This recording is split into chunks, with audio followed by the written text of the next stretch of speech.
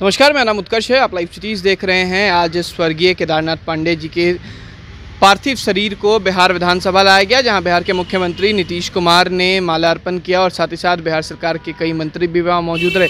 आप तस्वीरों में देख सकते हैं किस तरीके से मुख्यमंत्री नीतीश कुमार माल्यार्पण कर रहे हैं केदारनाथ पांडे के पार्थिव शरीर पर। आपको बताते चले कि सीपीआई के नेता रह चुके हैं और करीब चार बार विधान परिषद के सदस्य भी रह चुके हैं। हालाँकि इसके बाद मुख्यमंत्री ने संवेदना भी व्यक्त की है, हालाँकि जब उनसे पूछा गया कि अब छठ का महापर्व आने वाला है बिहार वासियों के लिए काफ़ी अहम होता है। तो उसको लेकर भी उन्होंने साफ़ कहा है कि देखिए आज एक बड़ी क्षति हुई है लेकिन आने वाले एक दो दिन में वो फिर से तमाम घाटों का निरीक्षण करेंगे उसके बाद इस पर बयान देंगे। क्या कुछ कह रहे हैं मुख्यमंत्री नीतीश कुमार? पहले आपको बयान सुने। लोग जानवरों की तरीके से भर भर करके भेजा जा रहा है बिहार। छठ पूजा में लगता है कि रेलवे को विशेष व्यवस्था करनी चाहिए। एक्चुअली देखिए छठ तो पूजा हुए करता है, हम सब बात इसके बाद करेंगे। दो एक आध दो दिन के बाद फिर हम घूमेंगे उसमें बतियाएँगे आज आज, अरे आज आज हमको दूसरा तरफ़ से दुखी बात होती।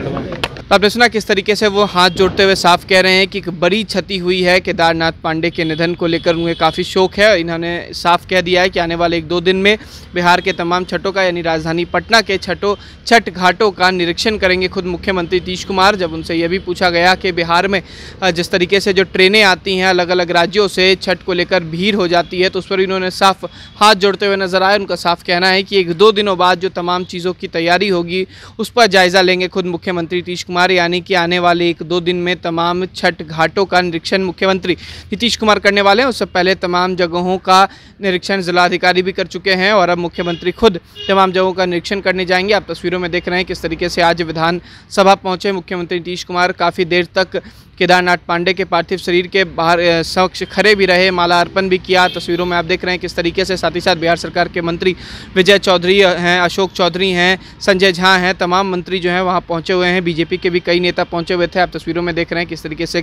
केदारनाथ पांडे जी के जो पार्थिव शरीर है वो विधानसभा लाया गया है। उसके बाद वहाँ पर माला अर्पण का दौर शुरू हुआ। आप तस्वीरों में देख रहे होंगे किस तरीके से जो तमाम नेता हैं वो यहाँ पहुँच रहे हैं और माला अर्पण कर रहे हैं। ये तस्वीरें हैं बिहार विधानसभा की। आज सुबह ही यहाँ पर मुख्यमंत्री नीतीश कुमार ने साफ़ कहा है कि जब छठ महापर्व आने वाला उसको लेकर भी तमाम तैयारियाँ जो हैं वो ज़ोरों शोरों से होंगी।